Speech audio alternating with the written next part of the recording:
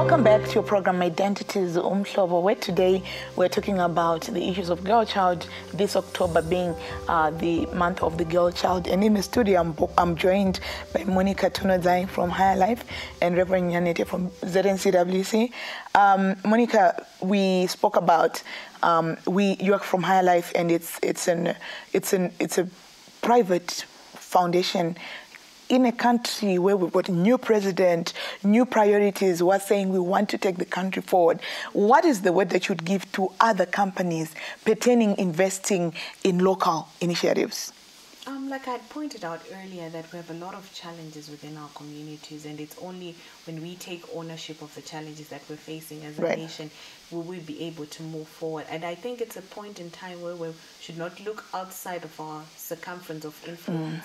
To say we'll look for the other person to meet the challenge and the need that we have in our community. It's time that we raise up, even as corporates and even as individuals, to take ownership of the challenges that we are facing and look at the people who've gone forth before and try to mm. find the models that are sustainable that you can implement within the respective area that you want to address the challenges. Wow. You talk about issues of sustainability because we have, in Zimbabwe, we talk about social corporate responsibility. And sometimes we just hear, oh, vaenda vanoita chakati vaenda. And I think, you, and you're talking about models that can be replicated. And I feel like we, evidently, we do have models of investment that organizations and companies can, can emulate that marks consistency. If you're going to invest in education, let us know that you are on education. If you're going to invest on health in our community, so for sustainability and sustenance, so that we just don't do, we feel good, taenda tanoloncha ichi, taita taunza, all the media, to that sustainability, planned, you know, medium to long-term investment. That's, that's good. Reverend Nyanhete, the International Month of the Girl Child, you are representing your, your organization as a coalition. You are representing a myriad of organizations working on different things for the girl child. What are the key issues that are coming out from organizations, from community, because organizations are working with community? Um, just before I answer that, I just want to contribute to Higher Life. Mm-hmm. Right. To say they've been supporting education Right. for over 10 years. Yes, that's good. If my memory serves me It's right. actually 20 years.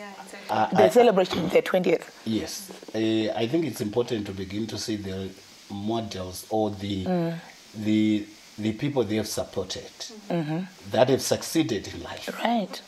right? Mm-hmm. And you know, these should also be able to talk Mm. to other children Right, right. and and and say if it Did were you not, know Monica is a beneficiary of Higher Life? yeah, if if she is, then we need to know that. Yeah. The community has to know that. She has to speak to girls so that they have the hope to know that out there there are people who are prepared to support them achieve Mm. good. something in life. But coming back to your question, the barriers to the girl child Right.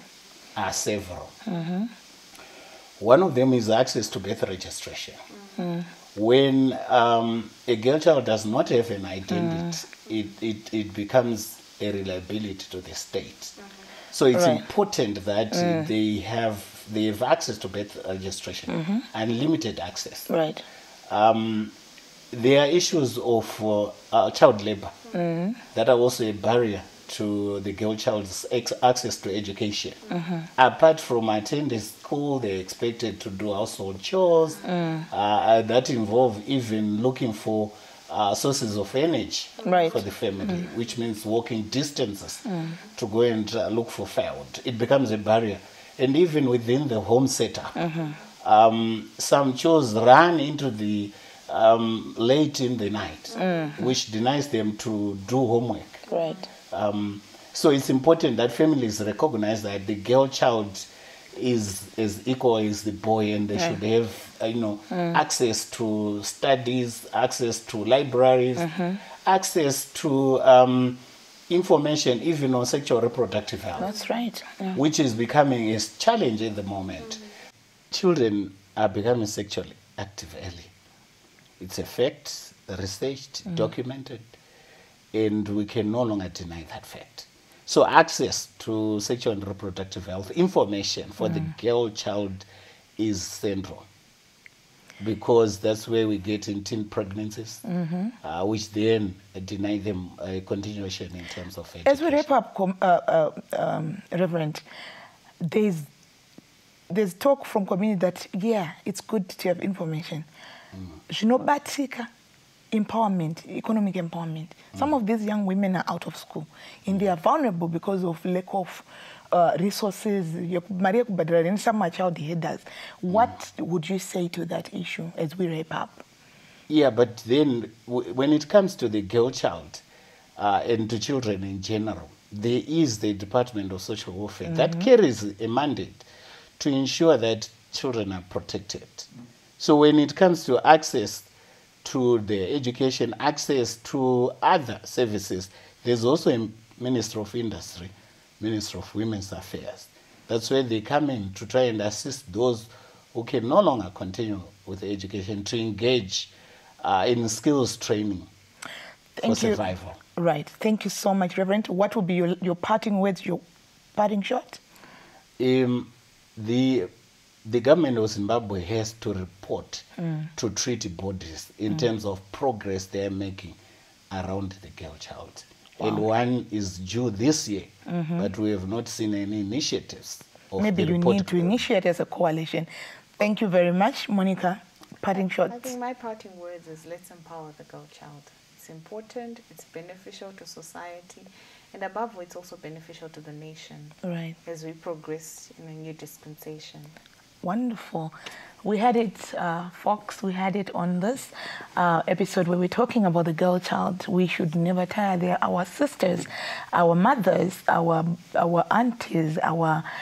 They carry our children and they, they are human beings above all. They deserve equality. So it is the time again where I have to read from you guys um, uh, to hear what you're saying. So I'm just going to read from a few people.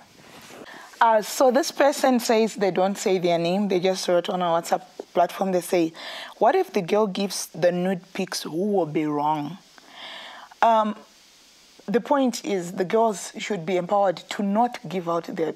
First of all, I think it was explained that it's it's actually illegal to picture yourself naked. So the girls are not supposed to commit a crime of recording pornography. And then you, as the boy, you're not supposed to receive those because ukabatwa nemapurisa une picture iyo unosungwa but ukazoilika it's even worse saka mese munenge muri pamhosva akatora mapictures neakazomalika wachoni so izvozvo zvingatipabatisisei um, and then Tapiwa says, Wow, I'm enjoying your topic today. In my opinion, I do not condemn nude pics and sex tapes because I believe every sweetie and good moment has to be recorded. Tapiwa, stealing can be sweet, killing people for other people can be sweet, raping can be sweet for another person. They are all crimes. So, taking nude pictures, whatever your sweet moment, is a crime. So you should not take nude pictures.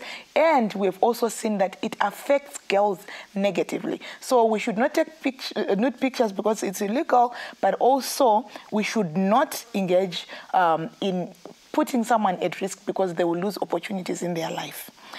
And then someone says, unopa cold shoulder kuna mai uri mumba mani ivo varivo vakatenga foni yacho. I think this one is responding to fari who was on our program the other day and saying that uh, if a parent asks for my password um, i'll give them a cold shoulder i think that um, there's, there are responsibilities and there are also rights. So with every right comes responsibility. Children if your parents buy you gadgets it's in your it's in your best interest and it's also in the best interest of the parent to look out your gadgets. You've got a right to get information through a gadget but you've got a responsibility to be responsible to not uh, be vulnerable. So it's the responsibility of your parent and their right to look at your uh, to look at your tablet and phone once in a while to protect you. Until next time viewers stay um, well and let's see each other next week. Bye